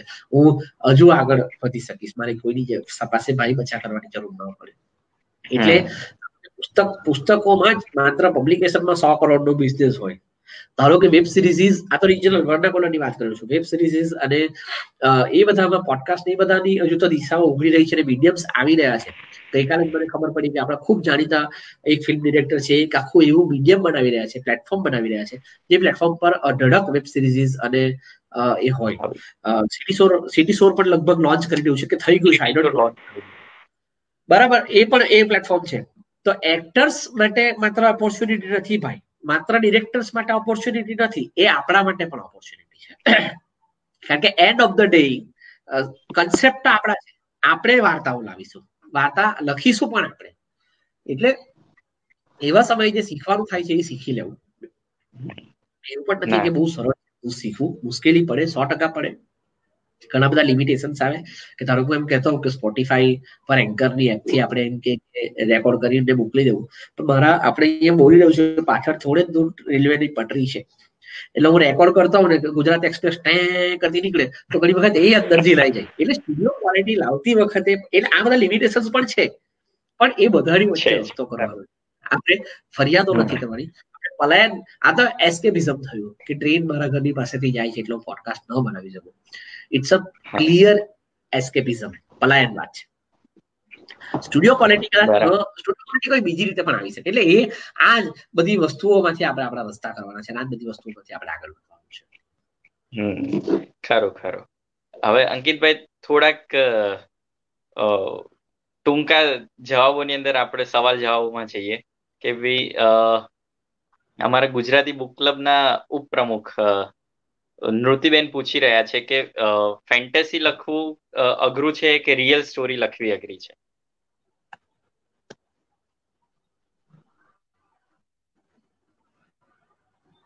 મારો અવાજ આવી રહ્યો હા બોલો પ્લીઝ હા. અમારા ગુજરાતી બુક ક્લબના ઉપપ્રમુખ પૂછી રહ્યા છે કે ફેન્ટેસી લખવું અઘરું છે કે પછી રિયલ સ્ટોરી લખવી અઘરી છે? શું શું લખવું અઘરું છે? સ્ક્રિપ્ટ ફેન્ટસી અથવા રિયલ સ્ટોરી લખવી અઘરી છે બંનેમાંથી. મને ફેન્ટસી ભારે લાગે છે. પણ એમાં એવું હોય છે કે ઘણા લેખકો હોય છે કે આપણા મહેશ યાજ્ઞિક છે બહુ જાણીતા વાર્તાકાર એમને જોઉં ને તો મને કે આ કઈ રીતે? બસ પેન અને પેપર લઈને બેસી જાય. બીજી કોઈ મહેશભાઈ કે ગીતા માણી કે આપણા બહુ જ સરસ મજાના વાર્તાકાર છે. એમને સરદાર ઉપર બહુ સરસ કામ કર્યું ગયા વર્ષે એ પણ એમ જ કે છે કે હું હું બહુ માથાકૂટમાં નથી પડતી. એક વખત મને શૈલી આત્મસાત થઈ જાય અને અમુક પત્રકાર તરીકે મને અમુક ફેક્ચ્યુઅલ્સ ખબર જ છે. તો પછી હું બેસી જ જાઉં છું અને લખવા જ માંડું છું. એટલે આપોઆપ એ વસ્તુ લખાય. કે મહેશભાઈએ મને એક બહુ સરસ મજાનું ઉદાહરણ આપેલું કે કે કે આમાં પછી થોડીક સજાગતા અને થોડીક મહેનત તમારા પક્ષ હોય કે એ પણ અભ્યાસના માધ્યમથી આવી જ જાય. કે ધારો કે રેલવે પર ટ્રેક ઉપર કોઈકનો અકસ્માત થયો હોય, તો ટ્રેનમાં એક્સિડન્ટ થયો હોય, તો સ્વાભાવિક જ સિટી પોલીસ નહીં આવે. તો આરપીએફ જ આવે એ જાણકારી તમને હોવી જોઈએ. એટલે તમે તમારા કોઈ નવલકથાના સીનમાં એવું લખો છો કે પેલો હીરો દોડતો ગયો અને જતો હતો એટલે ટ્રેને ફેંકી દીધો અને પછી પોલીસ આવી પોલીસની ગાડી ટેવ ટેવ ટેવ ટેવ કરતી આવીને પોલીસ કમિશનર ત્યાં આવી એવું ન બને. ત્યાં ફેક્ચ્યુઅલ એ જ છે કે પહેલા આરપીએફ જ આવે ભાઈ. એટલે એ બધી વસ્તુ પણ મૂળ મુદ્દો એ છે કે ફેન્ટસી અમુક લોકો પાસે અગેન પાછી આ વસ્તુ એ જ રીતની છે કે અમુક લોકોને ફેન્ટસીમાં બહુ જ સરસ મજાની હથોટી હોય.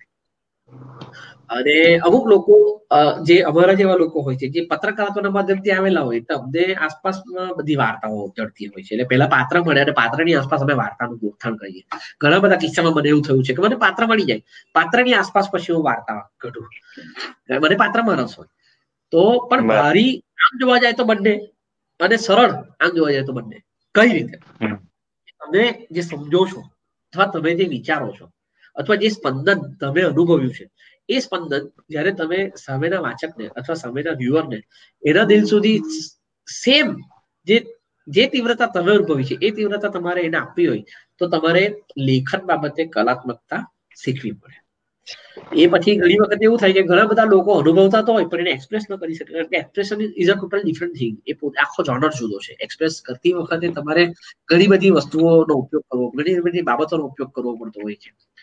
એટલે પડકાર એ રીતે ખરો કે ધારો કે ફેન્ટસી છે એ ફેન્ટસી તમને બહુ સરસ મજાની કંઈક તમને આવી ધ્યાનમાં અને તમે તમને પોતાને પણ ફીલ થયું.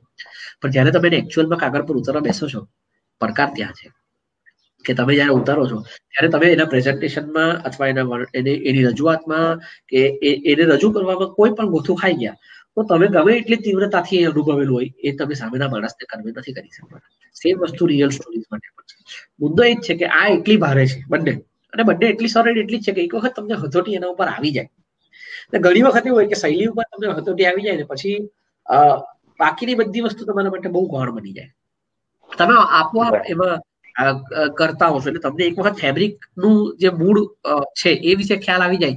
પછી એના ઉપર તમારે ડિજિટલ પ્રિન્ટ કરવાની છે કે તમારે ભરતકામ કરવાનું છે કે શું કરવાનું છે એ આપોઆપ તમને હાથ પર આવી જાય. ધારો કે ભરતકામ તમે જાતે જ કરો છો તો ભરતકામની પણ એક વખત એટલે મુદ્દો એ છે કે બંને એક સરખા સરળ છે. બંને એક સરખા ભારે છે. કોઈ પણ વસ્તુ એક સરખી સરળ છે, એક સરખી ભારે છે. કારણ કે જ્યારે તમે જે વસ્તુને ઝીલો છો, તમે જે અનુભવો છો, એ જ એટલી જ તીવ્રતાથી એવી જ રીતે સંવેદનાને ત્યારે તમે કન્વે કરો છો. કારણ કે આફ્ટર ઓલ આપણે એ માધ્યમથી કોઈકની સાથે કમ્યુનિકેટ કરી રહ્યા છે. અને કમ્યુનિકેશન એટલું બધું સ્ટ્રોંગ હોવું જોઈએ. એની આવડત, એની શૈલી એટલી બધી સ્ટ્રોંગ હોવી જોઈએ. અથવા એમાં કલાત્મકતા એટલી બધી હોવી જોઈએ કે ત્યારે જઈને સામેના માણસને ખબર પડે. કારણ કે સામેનો માણસ તમારા જેટલી બૌદ્ધિકતા ધરાવતો નથી. સામેનો માણસ કદાચ તમારા કરતા વધુ હોશિયાર છે. સામેનો માણસ કદાચ કશું જ સમજી નથી શકતો. એ તો કેટલા એવા બધા તો તમારી પાસે થવાના. એટલે આવા સમયે તમારી શૈલી વધારે મહત્વની થાય છે. બરાબર. કવિ વિનોદ જોશી કહે છે કે ભાઈ અંકિત તારી અંકિત મજા પડે છે તારી વાતોથી.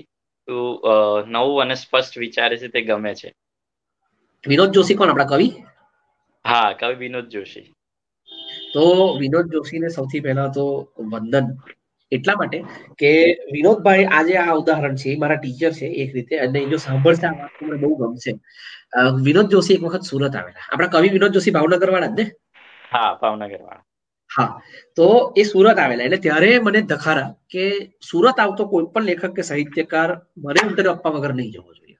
એટલે હું ગમે ત્યાંથી એમને સૌ ઇન્ટરવ્યુ એટલે I was a cub journalist in two thousand thirteen or fourteen એટલે કપ જર્નલિસ્ટ હોય એટલે આપણે ગાંડા ગેલા કરતા જ હોઈએ. આજે ગાંડા ગેલા તો કરીએ છીએ. પણ ત્યારે વધારે ગાંડા ગેલા હતા. એટલે આને, આપણે પછી પચાસ વર્ષ પછી પણ ગાંડા ગેલા જ કરીશું. પણ ગાંડા ગેલામાં એ થોડું થોડું નર્ચર એટલે ત્યારે મેં વિનોદભાઈનો ઇન્ટરવ્યુ કર્યો અને ઇન્ટરવ્યુ છપાઈ પણ ગયો અને વિનોદભાઈને મોકલ્યો. વિનોદભાઈ મને તો કઈ નહીં ગયું પણ જયારે વિનોદભાઈ ફેસબુક પર મૂકેલું ને ત્યારે એમને કંઈક નોટ મૂકેલી કે આમનો પ્રયત્ન સારો હતો એમ. યંગ ચેપ એવું કંઈક શબ્દ વાપર્યો અને એનો પ્રયત્ન સારો હતો.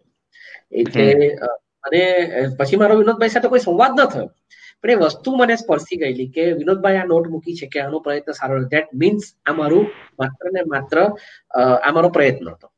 આ મારી એકચ્યુઅલ સારી પ્રોડક્ટ નહોતી.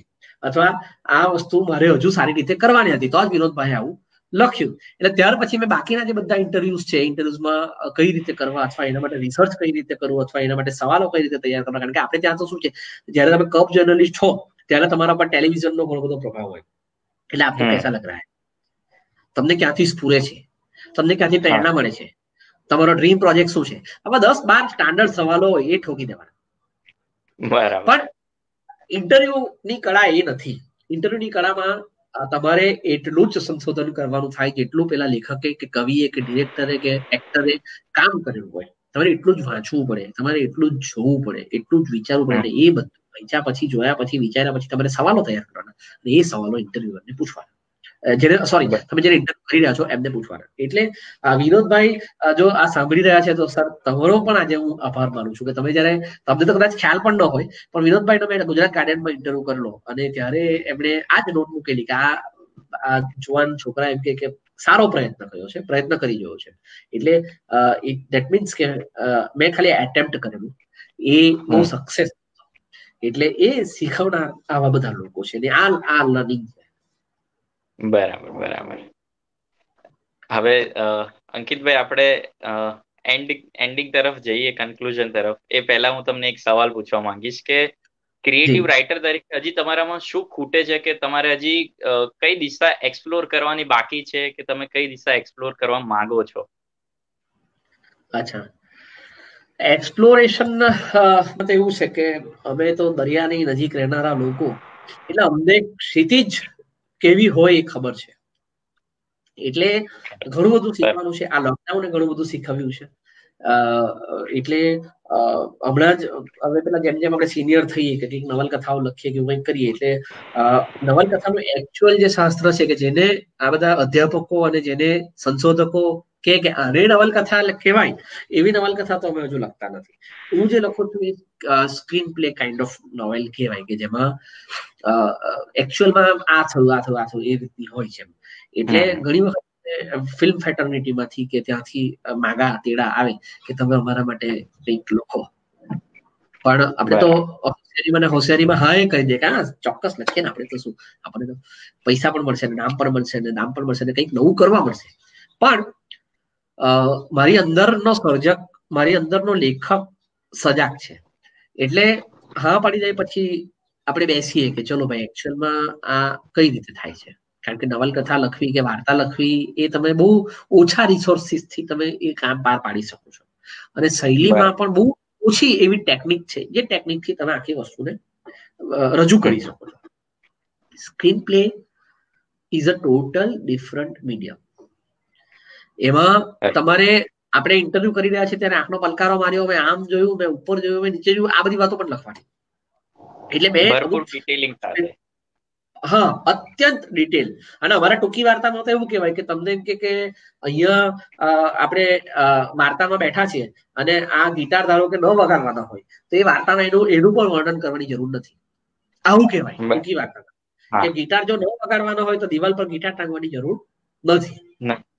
અને સ્ક્રીન પ્લે ટાઈમ કે છે કે જીણામાં જીણી વસ્તુનું ડિટેલિંગ હોવું જોઈએ. કારણ કે તમારે આખો માહોલ ભરી આપવાનો છે, તમારા વ્યુઅર્સને બરાબર છે? તો જ્યારે મેં એ જૂના સ્ક્રીન પ્લેસ વાંચ્યા આપણે અનુપમા સર્વાની ફિલ્મ કમ્પેનિયન કરીને બહુ સરસ મજાની વેબસાઇટ છે. એનું ફેસબુક પેજ અને યુટ્યુબ પર ફોલો કરવું એના પર બહુ જ ક્વોલિટી ઇન્ટરવ્યુઝ આવે છે સ્ટાર્સના બહુ જ ક્વોલિટી એટલે એના ઉપર બધી સ્ક્રિપ્ટ મૂકી છે એમણે જૂની જૂની ફિલ્મોની. પછી અમુક વિશાલ ભારદ્વાજનો એક આખો સેટ છે. એમણે જે ફિલ્મો લખી છે ઓમકારા છે કે એ ફિલ્મોના એ મળે છે મકબૂલના ને એના આખા પુસ્તકો છે.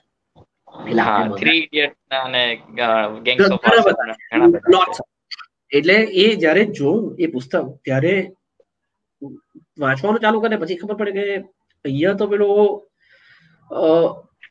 હતો રણછોડદાસ અહીંથી ક્યાં જતો રહ્યો?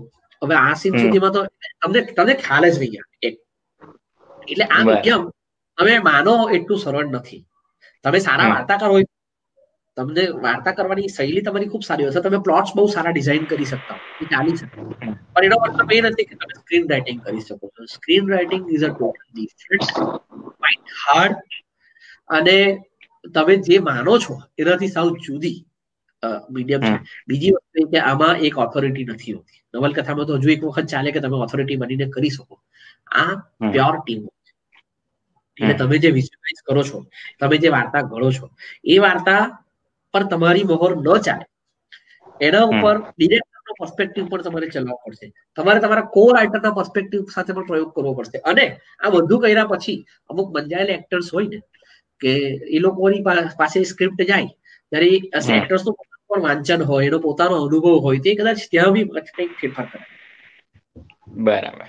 એટલે હમણાં મારા પોતાની વાત કરું તો હું એક આ વસ્તુ તરફ જોઈ રહ્યો છું શીખી રહ્યો છું. કારણ કે મને ભગવાનની મહેરબાનીથી ક્યાંકથી ને ક્યાંકથી ઓફર્સ આવી રહી છે કે તમે લખો અથવા તમે પણ આપણને આવડતું ન હોય તો ક્યાં એ ખાંડણીયામાં માથું મૂકવું? એટલે હું શીખી રહ્યો છું. એક એ બીજું અગાઉ જે મેં પોડકાસ્ટની વાત કરીએ કે વન્સ અપન ટાઈમ હું રેડિયો મિર્ચીમાં ઇન્ટર્ન હતો. રેડિયો મિર્ચી સુરતનો. અને ત્યારે હું જે આરજે અસિસ્ટ કરતો તો એ આરજે ત્યારે ત્યાં ટેલેન્ટ હન્ટ હતું અને ત્યારે એક આરજે રહેવાના જ હતા. પણ એમાં ભાગ લીધેલો અને હું જે આરજે ની સાથે કામ કરતો એ આરજે મને સ્પષ્ટ ના પાડે કે તું પહેલી તકે તો આમાં એલિજિબલ આમાં નથી પણ તું એટલા માટે નહીં જા કે તને તું પ્રિન્ટ મીડિયામાં અથવા ક્રિએટિવ રાઇટિંગમાં તું સારું કરી શકશે. રેડિયોમાં તું તારી જાતને ન બાંધ કારણ કે રેડિયોમાં અમુક વર્ષો પછી લિમિટેશન આવશે એ એમણે મને ત્યારે સલાહ આપેલી એમની સમજણ મુજબ. અને બીજું એમણે મને ખાસ કીધેલું કે તારા ઉચ્ચારણો બરાબર નથી. ત્યારે હું એક તો મારા ઉચ્ચારણોમાં દક્ષિણ ગુજરાતની છાંટ.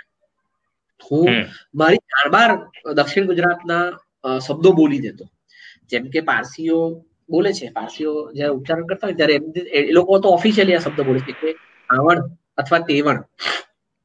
આવણ એટલે આ તેવણ એટલે તે લોકો. પણ એ મૂળ અમારો પારડી તાલુકાનો વલસાડ જિલ્લાનો શબ્દ છે.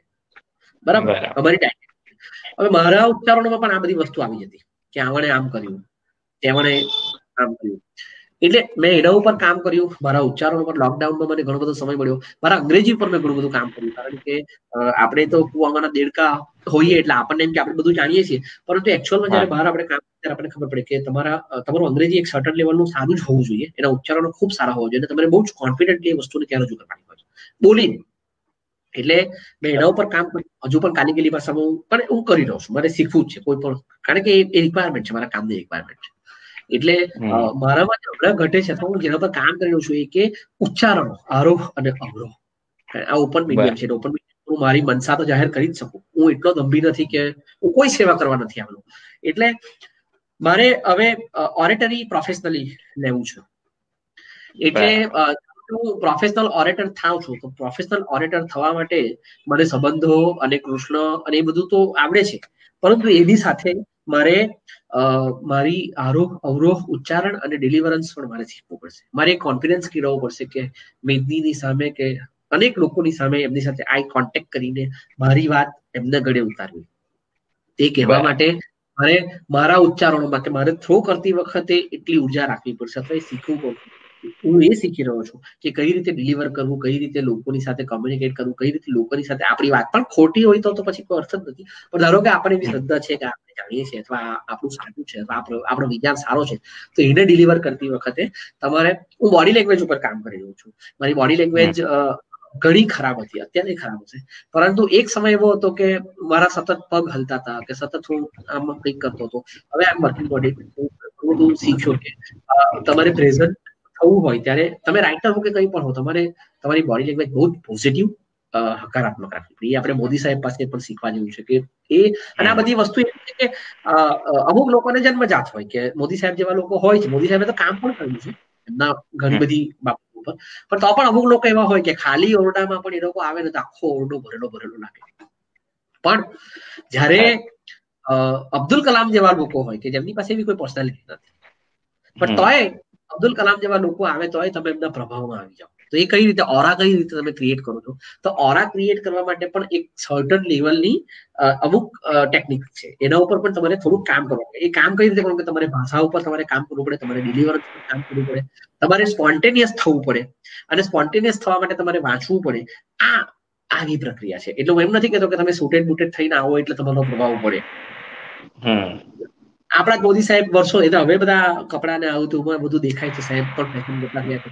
પણ વર્ષો સુધી મેં એમની સાથે જે રહેતા જ્યારે મોદી સાહેબ પ્રચાર હતા ત્યારે એમને એમની સાથે જે ફરતા એ લોકોનું મળ્યો હતો એમને કે બે જ કુર્તા. કુર્તાને પણ વાડકીમાં પાણી ગરમ કરીને વાડકી ફેરવીને કુર્તાને ઇસ્ત્રી કરી નાખે એને પ્રેસ કરી નાખે. કારણ કે એ તો પ્રચારક તરીકે તો ક્યાંય પણ ફરતા હોય તો ત્યાં કઈ દર વખતે તમને ધોવી ન પડે કે તમને ઇસ્ત્રી કરી અને કદાચ એવા પૈસા પણ ન હોય. મોદી સાહેબ. એટલે આ એમની એમના વિચારો સાથે તમે સંમત થાવ કે ન થાવ એમની પોલિસીસ સાથે તમે સંમત થાવ કે ન થાવ it's a total different and political thing પણ એઝ એન ઇન્ડિવિજ્યુઅલ એમ તમારે એમની પાસે આ વસ્તુ હું શીખ્યો છું કે એ રીતે વાતો રજૂ કરે છે. અથવા જે રીતે વિચાર વિચારમાં પણ એવું છે કે તમે જે ઘણી વખત એવી હોય બાબત હોય છે કે એક વિચાર તમે ત્રણ જુદી જુદી રીતે રજૂ કરી શકો. પણ એ ત્રણે ત્રણ રીતોમાં ઇફેક્ટિવનેસ જુદી જુદી હોવાની. બાબતો એવી હોય છે કે બહુ સાદી સાદી રીતે તમે વસ્તુને ડિલિવર કરો.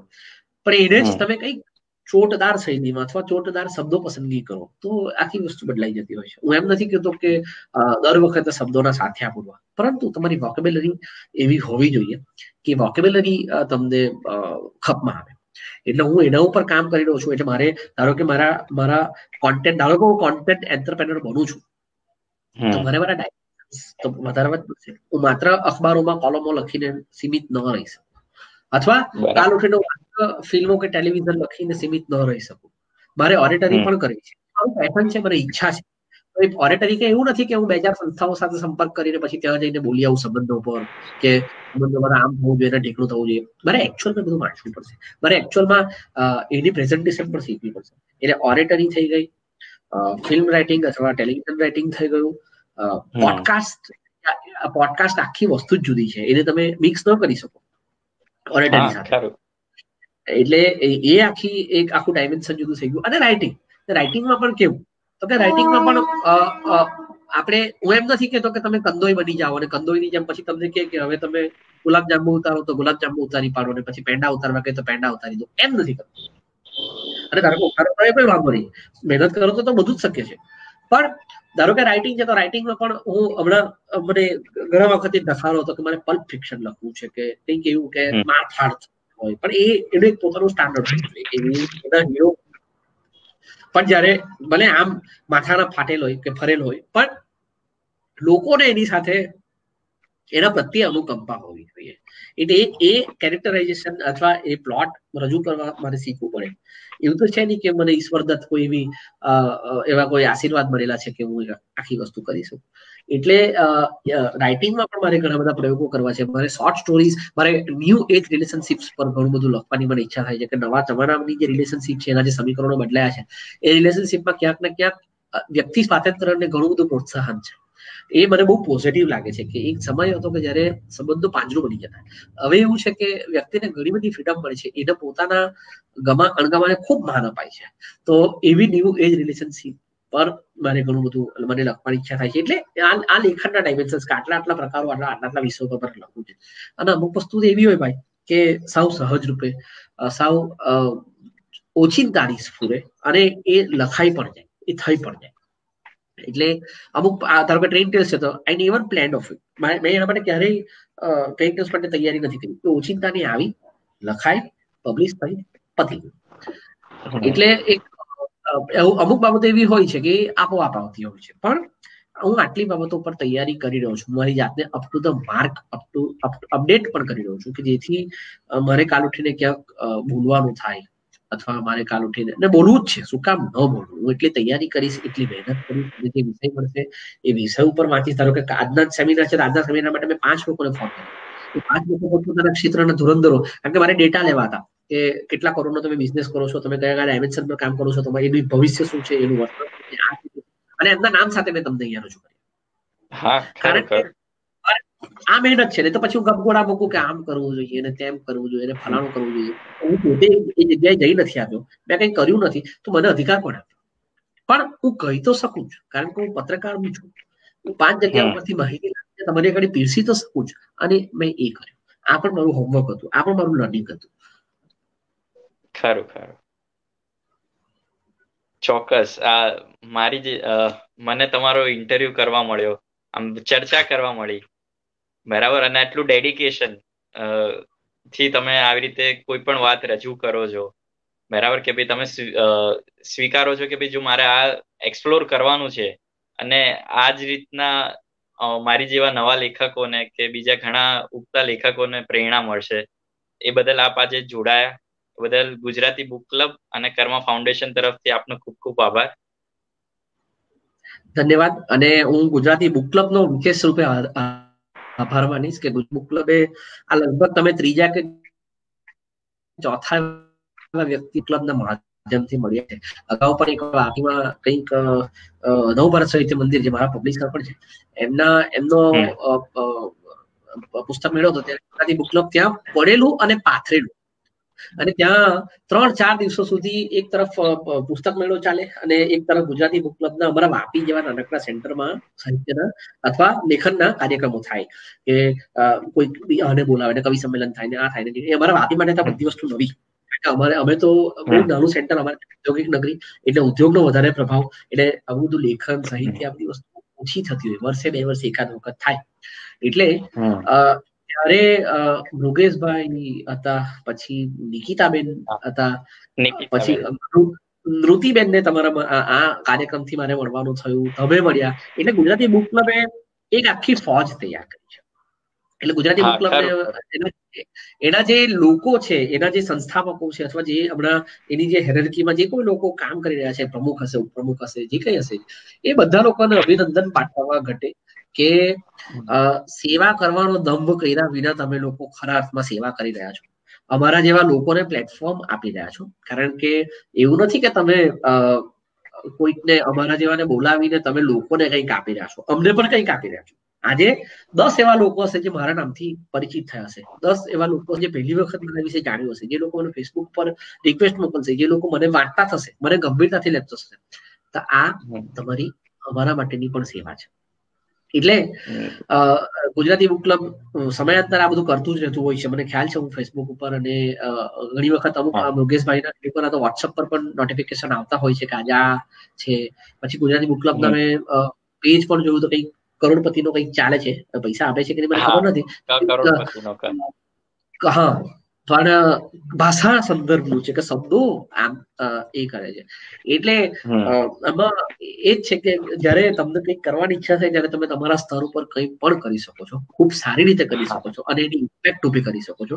એનું જીવતું જાગતું ઉદાહરણ ક્લબ અને કર્મ ફાઉન્ડેશન છે. તો ગુજરાતી બુક ક્લબમાં જે લોકો વોલેન્ટિયરલી જોડાયેલા છે એ લોકોનો પણ હું આભાર માનું છું. અને જે લોકો આ બધા કન્સેપ્ટ ડિઝાઇન કરી રહ્યા છે કે જે લોકો આ બધી સુવિધાઓ પ્રોવાઈડ કરાવી રહ્યા છે કે જે રીતે કારણ કે આ બધી વસ્તુ અવસ્થિત નથી થઈ. તમે તમે ધારો કે બેઠા છો અથવા તમે બોલી રહ્યા છો તમે તમારું તમારો સમય પણ ખર્ચ્યો છે. આ બધા ખર્ચા મહત્વના છે. તો જે લોકો જે રીતે પોતાનો સમય પોતાના પૈસા પોતાની વિચાર અને બૌદ્ધિકતા ખર્ચી રહ્યા છે બધાને હું દિલથી વંદન કરું છું તમારો આભાર માનું છું. થેન્ક યુ આપ જોડાયા. ખૂબ ખૂબ વ્યુઅર્સ ને જાણવા મળ્યું નવું. આભાર. આપ સૌનો. આપ સૌ પણ જોડાયા. એ બદલ ખૂબ ખૂબ આભાર. Thank you so much thank you